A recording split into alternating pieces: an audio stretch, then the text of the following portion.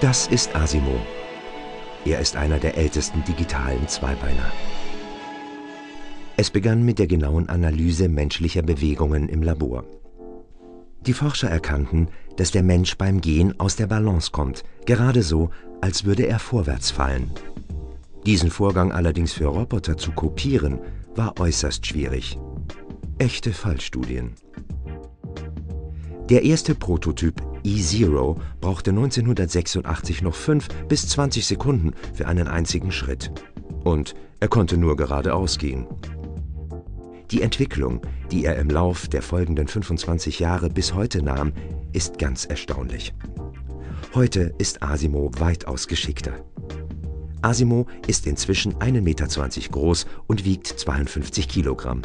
Er sprintet mit 6 Stundenkilometern, kann Hindernissen ausweichen, um die Ecke laufen und auch greifen. Und noch mehr. Selbst Serviceleistungen erbringt er mit großer Präzision. Die Robotik ist im 21. Jahrhundert ein Trendthema der Forschung.